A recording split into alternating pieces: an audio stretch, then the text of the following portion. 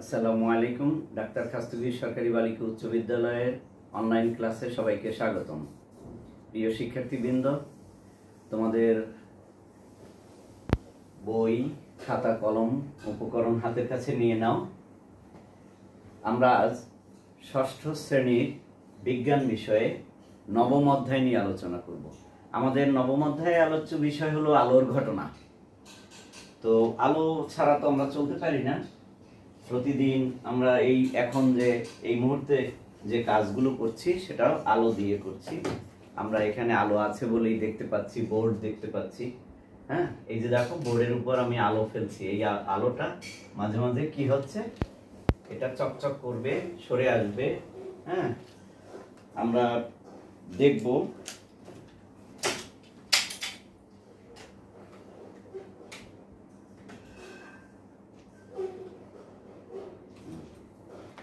তো আলোর ঘটনা নিয়ে আমরা আজকে কথা বলব। আলো কি হয়? আলো হচ্ছে যে চকচকে কোনো একটা তলের উপরে যদি আলো পড়ে, তাহলে সে সেখান থেকে ফিরে আসে।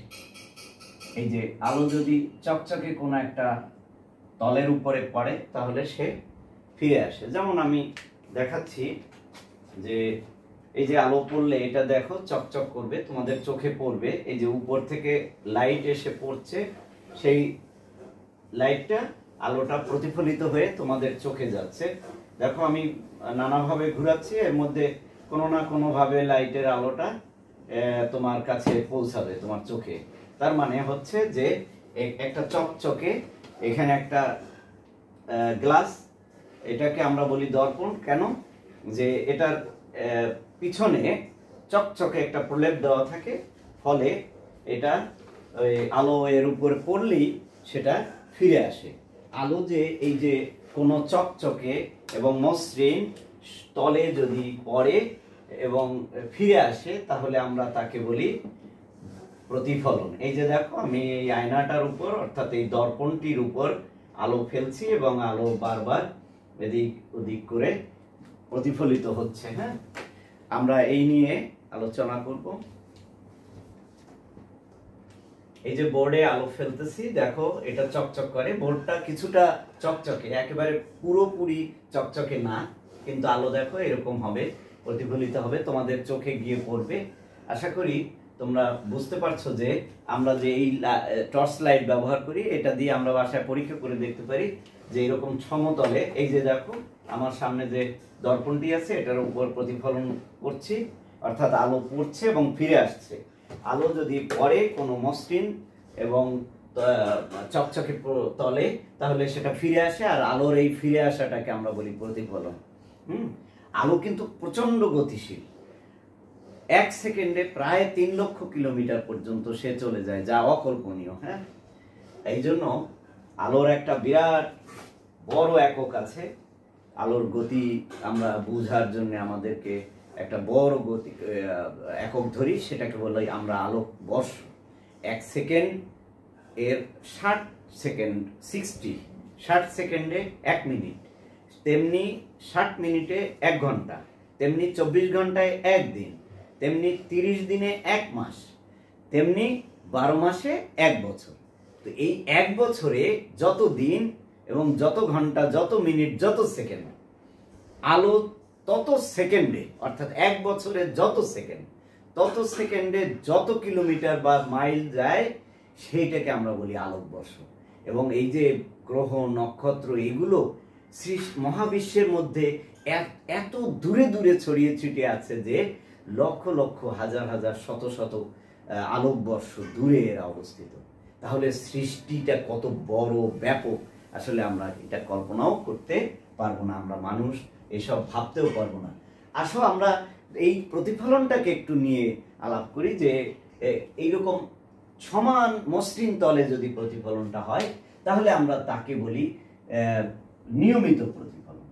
অর্থাৎ এই যে দেখো, একটা রশ্মি, এটাও চলে গেল এইভাবে, আবার আরেকটা রশ্মি এইভাবে এসে এই চলে গেল। দেখো, প্রত্যেকটা যে আপতিত রশ্মি যেগুলো আসে, সেগুলোকে বলি আপতিত রশ্মি, আর যেগুলো উঠে যায়, প্রতিফলিত হয়ে যায়, সেগুলোকে বলি প্রতিফলিত রশ্মি। এটা যদি সমান্তরাল থাকে, সবগুলো যদি সমান্তরাল থাকে, তাহলে আমরা এগুলো বুঝব যে এটা নিয়মিত প্রতিফলন হচ্ছে, একটা সমান তলে। আর যদি এরকম একটা উঁচু নিচু একটা তলে এরকম পড়ে, তাহলে এরকম আসলো, হয়তো যাওয়ার কথা ছিল এই, এইভাবে সেটা না গিয়ে হয়তো এইভাবে চলে গেল হ্যাঁ? আবার একটা গেল এরকম, সেটা আবার গেল এরকম হ্যাঁ? আবার একটা আসলো এই- এইখানে, সে আবার গেল এরকম। এরকম যদি এলোমেলো ভাবে আসে আর যদি এলোমেলো ভাবে চলে যায়, তাহলে আমরা তাকে বলি আলোর অনিয়মিত প্রতিফলন, অর্থাৎ উঁচু নিচু তল, যদি ঢেউ খেলানো তল হয়, সেই তলকে আমরা সেই তলে যদি আলোক রশ্মি এসে পড়ে, যদি প্রতিফলিত হয়, তাহলে এই আপতিত রশ্মিগুলো সমান্তরাল থাকে না, আবার প্রতিফলিত রশ্মিগুলো সমান্তরাল থাকে না। আমরা এই এই যে এই ধরনের প্রতিফলনকে আমরা বলি অনিয়মিত প্রতিফলন বা ব্যপ্ত প্রতিফলন বা এটা হলো নিয়মিত প্রতিফলন। নিয়মিত প্রতিফলন। নিয়মিত প্রতিফলন। আর এটা হচ্ছে অনিয়মিত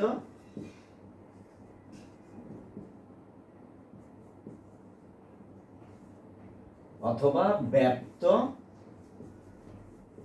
হ্যাঁ অথবা আরেকটা তোমাদের টার্ম দেওয়া আছে, সেটা হলো বিক্ষিপ্ত।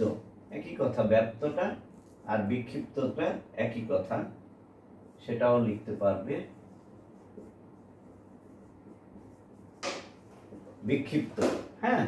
তাইলে একটা হচ্ছে নিয়মিত প্রতিফলন রেগুলার রিফ্লেকশন আর একটা হচ্ছে ইরেগুলার অর্থাৎ অনিয়মিত ব্যপ্ত বা বিক্ষিপ্ত প্রতিফলন।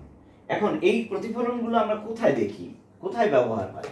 সেগুলো যেমন এই যে আমরা দর্পণে বাসায় দেখা আমাদের প্রতিবিম্ব দেখি আমরা আয়নার সামনে গিয়ে নিজেদেরকে ড্রেস আপ করি দেখি চেহারা তোমরা দেখো সবাই হ্যাঁ? তো কোথাও বেড়াতে গেলে তার আগে সবাই কি করে? ড্রেস আপ করে, একটু নিজেকে সাজিয়ে নেয়। সেটা কোথায়? দর্পণের সামনে। আবার দেখবে যে সেলুনে গেলে হ্যাঁ পার্লারে গেলে সেখানে প্রচুর সমতল দর্পণ আছে দেয়ালে লাগানো থাকে। এই সেইগুলো ব্যবহার আছে। তারপরে আর কোথায় আছে? এইসব ওই যে বিভিন্ন জায়গায় চকচকে কোনো আলো যেমন আমরা ওই যে সোলার সিস্টেম জানি। সোলার এর এর মধ্যে যে সৌরচুল্লি একটা আছে কড়াইয়ের মতো একটা জিনিস চকচকে করা হয়, সেখানে আলো ফেলে একটা জায়গায় আনা হয়। সেখানেও কিন্তু এই দর্পণের ব্যবহার রয়েছে হ্যাঁ? প্রতিফলনের ব্যবহার রয়েছে। আবার সেটা কিন্তু একটু বাঁকানো একটা তল। ওইরকম আবার বিক্ষিপ্ত যে প্রতিফলনগুলো, অনিয়মিত, সেটাও পাওয়া যায়। আমরা যে অনুষ্ঠানে যাই, অনেক সুন্দর আলোকসজ্জা মঞ্চে দেখি, আলো ঘুরে ঘুরে এদিক ওদিক পড়ছে হ্যাঁ? তোমাদের মজা লাগে না খুব? এদিকে যাচ্ছে, আলো ওদিকে যাচ্ছে, সেখানে কিন্তু বিক্ষিপ্ত প্রতিফলন বা ব্যপ্ত প্রতিফলন থাকে। তাই আমরা এগুলো জানলাম যে সম- কোথায় নিয়মিত প্রতিফলনগুলো আমরা ব্যবহার করি, কোথায় অনিয়মিত প্রতিফলনগুলো ব্যবহার করি সেটা পেলাম। এবার আমরা অন্য কাজগুলো দেখি, আর কি কি আমাদের এখানে আছে ইম্পর্টেন্ট বিষয়।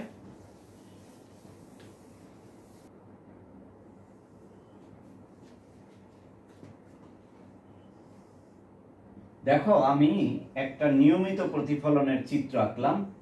যে তলটাতে এসে পড়বে, এই তল, এখানে কিন্তু তলটা আমরা দেখাচ্ছি কিন্তু এই, এইখানটা আমরা মনে করছি এইটা তল। আসলে কিন্তু তলটা হবে কি? এইখানে এইখানে। অর্থাৎ যে কোনো, এই এই, এইভাবে আমি দেখাই। এই যে একটা দর্পণ, এইভাবে যদি ধরি, আমি উপর থেকে আলো ফেললাম, এই, এরকম উপর উপর থেকে এইরকম বাঁকানো, তির্যকভাবে আলো ফেললাম ওই সোজা উপরের দিকে, ছাদের দিকে চলে গেল। এইটাই কিন্তু এখানে তল হিসেবে। অর্থাৎ এই তলটা আমি একটু আগে তোমাদেরকে বোঝাই যে এই তলটা, এখানে কল্পনা করব, এখানে এসে আলো পড়ল, এখান থেকে উঠে গেল। এই জায়গায়, এই তলের উপর খাড়া একটা লম্ব যদি আঁকি, সেইটা হলো অভিলম্ব, এটা হলো অভিলম্ব। অভিলম্ব। আর এটা হলো আপতিত রশ্মি। আপতিত রশ্মি। আপতিত রশ্মি। আর এইটা হলো প্রতিফলিত রশ্মি।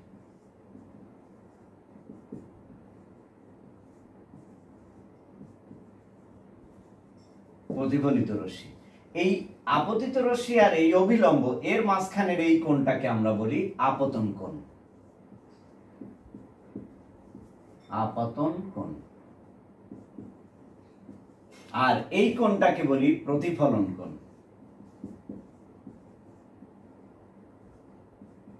এটা হলো প্রতিফলন কোণ।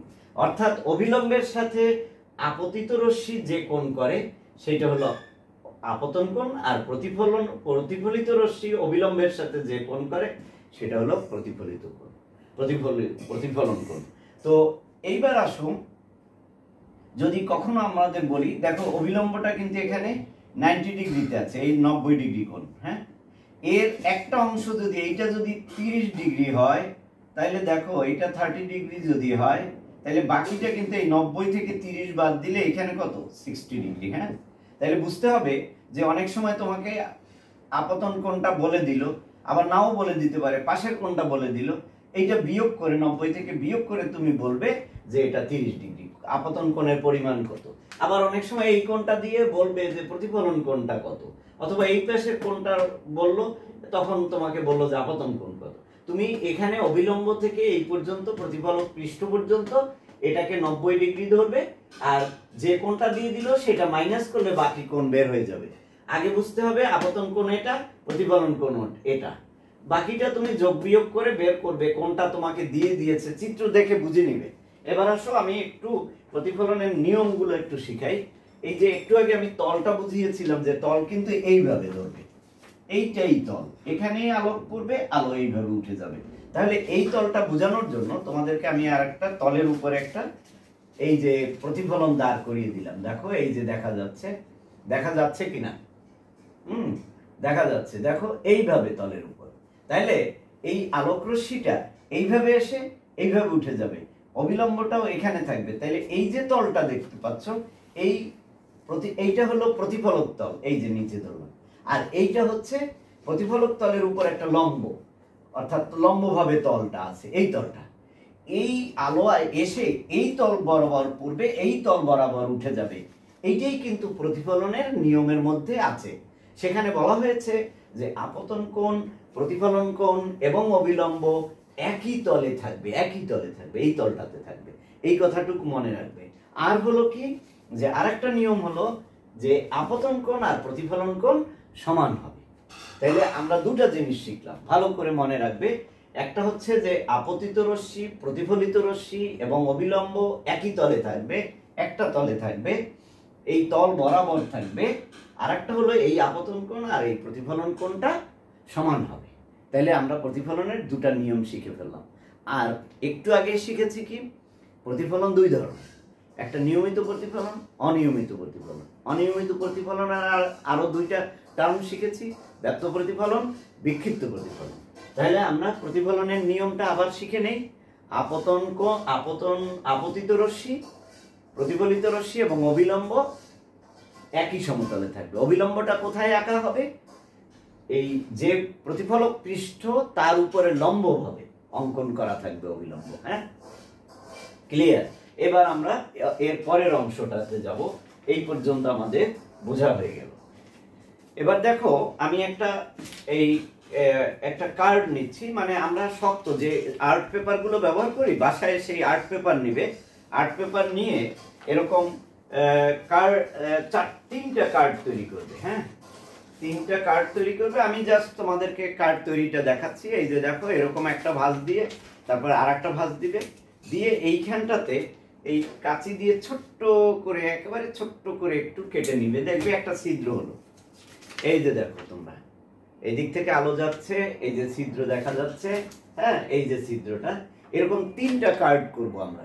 এবং তিনটা কার্ড টেবিলের উপরে এইভাবে খাড়া করে বসাবো। এই ধরো আমরা কস্টেপ দিয়ে বা আঠা দিয়ে এরকম কার্ড এবং আর্ট পেপার ব্যবহার করবে। তাহলে এরকম তিনটা ছিদ্রযুক্ত, এই যে তিনটা ছিদ্রযুক্ত কার্ড নিবে, সেইগুলো টেবিলের উপরে সোজা করে বসাবে এবং প্রত্যেকটা কার্ডের ছিদ্র কিন্তু একই বরাবর হইতে হবে। একই বরাবর হতে হবে। মেপে এই যখন কাটবো, তিনটা কার্ডই এক সাইজ নিব, একভাবে ভাস করব, একভাবে কেটে ছিদ্র বানাবো। এরপরে এইটাকে বসিয়ে এরকম তিনটা কার্ড যদি আমরা বসাই টেবিলের উপরে এবং একটা মোমবাতি এক পাশে দিব অথবা টর্চ। তোমার কাছে মোমবাতি যদি না থাকে, একটা টর্চ থাকবে। এক পাশ থেকে টর্চটা ধরলে তুমি ওই পাশে এই তিনটা ছিদ্র যদি এক বরাবর থাকে, তাহলে আলো অন্য পাশ থেকে দেখা যাবে। অর্থাৎ আলো সরল পথে চলে। এইবার যে কোনো একটা কার্ড একটু সরিয়ে দিলেই দেখা যাবে যে এই আলোটা আমরা দেখতে পাচ্ছি না। তাহলে আলো যে সরল পথে চলে এর একটা পরীক্ষা আমাদের বইয়েও দেওয়া আছে। আমরা নিজেরা বললাম কি আর্ট পেপার হ্যাঁ? আর্ট পেপার দিয়ে একটা টেবিলের উপর তিনটা কার্ড ছিদ্র করে আমরা এই পরীক্ষাটা ইচ্ছে করলে করতে পারি, যেটা তোমাদের চুয়াত্তর পৃষ্ঠায় তোমাদের বইয়ে দেওয়া আছে। আশা করি তোমরা এটা দেখে নেবে। আলো কোনভাবে চলে তাইলে? সরল পথে চলে। ঠিক আছে। তাইলে এবার আসো। আলোর প্রতিফলন। ও, আরেকটি কথা। আমরা কোনো বস্তুকে কেমন করে দেখি? বস্তু বস্তু কখন দেখি? দেখবে যে ঘরে অন্ধকার, সেখানে কোনো বস্তু তুমি দেখতে পাচ্ছ না। তাহলে অন্ধকার ঘরে কি করো? তুমি টর্চ জ্বালাও কিংবা বাল্ব জ্বালাও। তো সেটার আলো যখন পড়ে, তখন তুমি বলো যে আমি বস্তুটাকে দেখতে পাচ্ছি।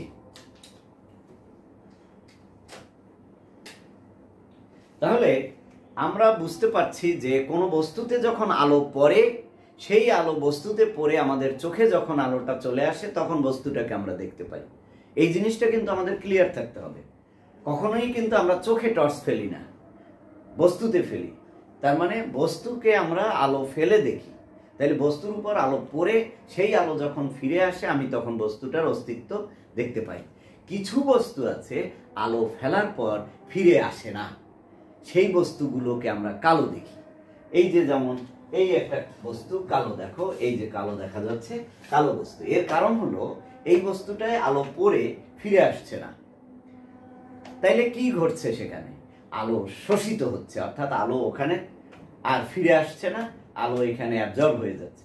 অর্থাৎ আলো, এই যে কোনো বস্তুতে আলো পড়ে যদি ফিরে না আসে, তাকে আমরা বলি আলোর শোষণ। আর আলো যদি এরকম সম্পূর্ণরূপে যদি কোনো বস্তু শোষণ করে, সেই বস্তুকে আমরা কালো দেখতে তাহলে এটুকু আমরা ক্লিয়ার শিখলাম যে আলো আমরা কীভাবে দেখতে পাই। একটা হলো বস্তুতে আলো পড়ে, সেখান থেকে আলো ফিরে আসে, তাই আমরা আলো বস্তুটাকে দেখতে পাই। আর একটা জিনিস শিখলাম যে কোনো বস্তুতে যদি আলো পড়ে, ফিরে না আসে, তাহলে সেই বস্তু কালো দেখা যায়। এটাও কিন্তু একটা ঘটনা। হুম সেখানে কি ঘটে? আলোর শোষণ ঘটে। ক্লিয়ার থাকতে হবে আমাদের।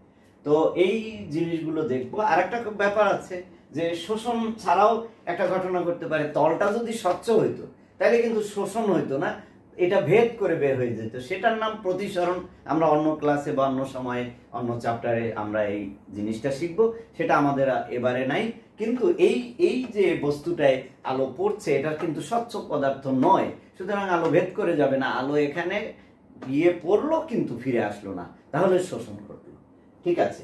তাইলে এই পর্যন্ত আমরা এটা, এটাও জানলাম। আলোর প্রতিফলন এবং শোষণ সম্পর্কে আমাদের জানা হলো। আমরা দেখি কেমন করে, সেটাও জানলাম। তারপরে আর কি জানলাম? যে আমাদের নিয়মিত প্রতিফলনগুলো কোথায় আমরা ব্যবহার করি, অনিয়মিত প্রতিফলনগুলো কোথায় ব্যবহার করি, সেগুলোও আমরা আলোচনা করেছি। এরপরে দেখো, দর্পণের সৃষ্ট যে প্রতিবিম্ব, সেইটা আমরা তো জানি যে আমরা বাসায় গিয়েও দেখতে পারি যে আমাদের একটা যে দর্পণ বা আয়না আছে ড্রেসিং টেবিল আছে, সেখানে গিয়ে দাঁড়ালেই তুমি প্রতিবিম্ব দেখতে পাবে।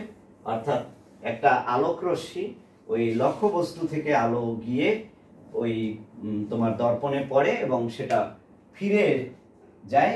ফিরে গেলেই আমরা দেখতে পাই যে কোনো একটা কোনো দৃশ্য আমরা দেখতে পাই। ধরো, এখানে যদি তুমি কোনো একটা বস্তু রাখো কিংবা একটা কার্টুন রাখো হ্যাঁ? কার্টুন রাখো।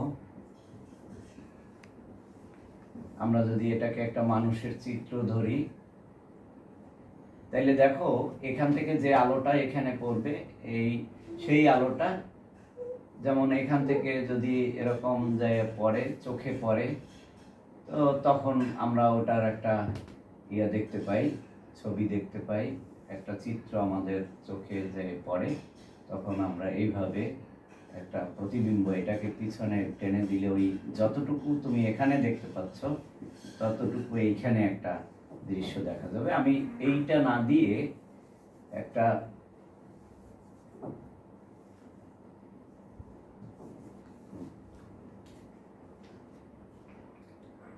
দেখো, এখানে আমি একটা লক্ষ্য বস্তু দেখালাম এটা চোখটা এখানে সে এখানে বসে দেখবে, এটার এটার একটা প্রতিবিম্ব দেখবে। দেখো, এখান থেকে আলোক রশ্মি এই গিয়ে এই চোখে পড়তেছে। চোখ দেখবে, মনে হবে আলোটা এই দিক থেকে আসে নাই, সে মনে করবে এই দিক থেকে আসতেছে, পিছন থেকে আসতেছে। ঠিক এখান থেকে একটা আলোক রশ্মি এই গেল, চোখে গিয়ে পড়ল, সেও মনে করল এই পিছন থেকে আসতেছে। তাহলে এই চোখ এইটাকে এখানে না দেখে এইখানে দেখবে। তাহলে দেখো, এই যে আমরা দর্পণের সামনে বাসায় গিয়েও যদি দাঁড়াই, তাহলে সামনে এরকম পিছনে সমান দূরত্বে একটা প্রতিবিম্ব দেখা যাবে। এখানে চোখ রাখলে এই যে দেখা যায়, একজন দাঁড়িয়ে যদি এখান থেকে দেখে তাহলে এখানে কিন্তু আমি একটা আলোক রশ্মি একটা আলোক রশ্মি দুটা আলোক রশ্মির মাধ্যমে দেখানোর চেষ্টা করেছি। আসলে কি হয়? দৃশ্যটা দেখা যায় আমরা লক্ষ কোটি আলোক রশ্মি এখান থেকে যাবে এবং সব একইভাবে এরকম প্রতিফলিত হবে এবং পুরো চিত্রটা এখানে দেখা যাবে। তাইলে আমরা দেখতে পাচ্ছি যে সমতল দর্পণে আলোক রশ্মি এই প্রতিবিম্বটা এই পাশে হয় দর্পণের বিপরীত পাশে হয়, লক্ষ্যবস্তু যে পাশে তার বিপরীত পাশে হয় এবং সেটা বাস্তবে নয়, অবাস্তবে। কারণ এই, এইটা, এই যে আলোক রশ্মি এখানে গিয়ে মিলিত হচ্ছে কিন্তু আস, এটাকে মনে হচ্ছে যে পিছন থেকে আসছে বলে হয়, মনে হয়। এই এই ধরনের যে প্রতিবিম্ব এই রকম আলোক রশ্মি দিয়ে যেটা সৃষ্টি হয়, সেটা অবাস্তব। এবং তাইলে আমরা পাচ্ছি যে সমতল দর্পণে হলে লক্ষ্যবস্তু যত, যতটা দূরে থাকবে দর্পণ থেকে প্রতিবিম্ব ততটা দূরে হবে। এটা একটা। আর ভালো দর্পণগুলোর কতগুলো বৈশিষ্ট্য আছে সেগুলো আমরা একটু শিখব। তাহলে একটা জিনিস এখানে একটু ইম্পর্টেন্ট কয়েকটা কথা, যে ওই লক্ষ্যবস্তু লক্ষ্যবস্তু যেভাবে থাকবে, যেমন তুমি যদি বাসায় দর্পণের সামনে দাঁড়াও, তাহলে দেখবে তুমি যতটুকু সামনে দাঁড়িয়েছো, তোমার প্রতিবিম্বটা ততটা ভিতরে দূরে আছে, ততটা দূরে থাকবে দর্পণ থেকে। ডানে যদি যাও, ওটা ডানে যাবে। তুমি যদি বামে যাও, ওটা বামে যাবে। অর্থাৎ এটা পার্শ্ব পরিবর্তন করে, সামনে পিছনে আগায়। তাহলে সমান দূরত্বে থাকে। এগুলো দর্পণে যে প্রতিবিম্ব, তার বৈশিষ্ট্য। আর ভালো সমতল দর্পণ যদি বুঝতে হয়, তাহলে এই যে কথাটা দেখো, এই যে একটা দর্পণ দেখাচ্ছি, এটা ভালো সমতল দর্পণ হইলে এটা মসৃণ হইতে হবে, চকচকে হইতে হবে। এর পিছনে কিন্তু একটা প্রলেপ দেওয়া থাকে। পারদের বা অন্য চকচকে প্রলেপ দেওয়া থাকে। এটা এটার পুরুত্ব কম হইতে হবে। দর্পণটার মধ্যে কোনো বুদবুদ থাকতে পারবে না, তাহলে এটা ভালো দর্পণ। তাহলে আমরা দুইটা, আর, আরও দুটা জিনিস এখনই শিখে নিলাম। একটা হলো ভালো দর্পণের বৈশিষ্ট্যগুলো কি কি, আর একটা কি শিখলাম? যে প্রতিবিম্বের বৈশিষ্ট্য কি? প্রতিবিম্ব দেখতে কেমন হয়? সেটা ক- সমান দূরত্বে থাকে হ্যাঁ দর্পণ থেকে। সমতল দর্পণ হলে সমান দূরত্বে থাকে। আর হলো যে পার্শ্ব পরিবর্তন হয়, এগুলো আমরা শিখলাম। তাহলে আজকে মোটামুটি এই পর্যন্তই। মোটা, এই অধ্যায়ে আমরা প্রায় আলোচনা করে ফেলেছি। আশা করি সবাই এটা ভালো করে পড়বে এবং এই বিষয়গুলো একটু নিজে আত্মস্থ করার চেষ্টা করবে। সবাইকে শুভেচ্ছা, অভিনন্দন জানিয়ে আজকের শ্রেণির কাজ এখানেই শেষ করছি। আল্লাহ হাফেজ।